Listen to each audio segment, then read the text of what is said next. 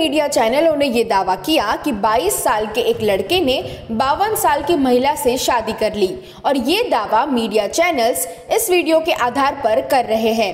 सबसे पहले तो आप ये वीडियो देख लीजिए। मुझे अपने आप से भी ज़्यादा भरोसा है क्योंकि मैंने तीन साल देख ली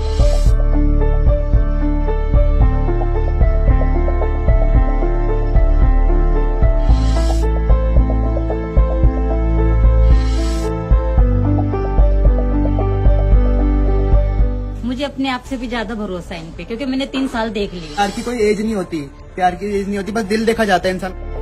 आज तक ने ये वीडियो चलाते हुए ऐसा ही दावा किया था। बहरहाल इस वीडियो के बारे में पॉइंट आउट किए जाने के बाद आज तक ने इसे डिलीट कर दिया। हालाँकि इससे पहले आज तक द्वारा इंस्टाग्राम पर पोस्ट किए गए इस वीडियो को तकरीबन 10 लाख व्यूज़ मिले थे।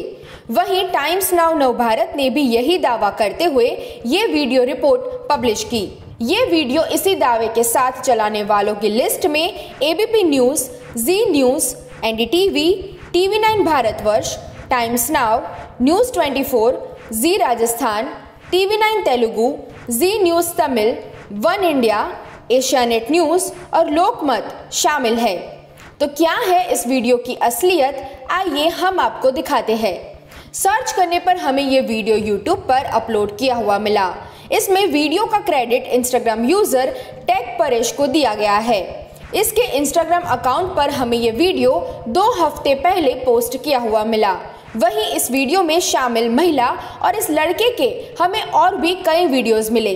इनमें ये दोनों अलग अलग व्यक्तियों के साथ दिख रहे हैं। यहाँ ये बात तो साफ़ हो गई कि ये वीडियो किसी असली घटना का नहीं है, बल्कि स्क्रिप्टेड है।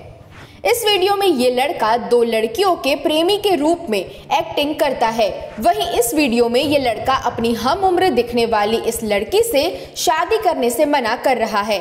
शादी का है तुम्हें क्या मतलब है? मुझे मतलब है तुमने मुझसे अब मैं तेरे से प्यार नहीं करता साफ़ पता लगे तेरे से प्यार नहीं करता मैं। उससे शादी करिए उससे शादी नहीं करिए ज़बरदस्ती शादी करी है क्या? तेरे शादी करना शौक भी नहीं था। ऐसे ही इस वीडियो में ये महिला किसी और शख्स के साथ शादी करने की बात स्वीकार कर रही है।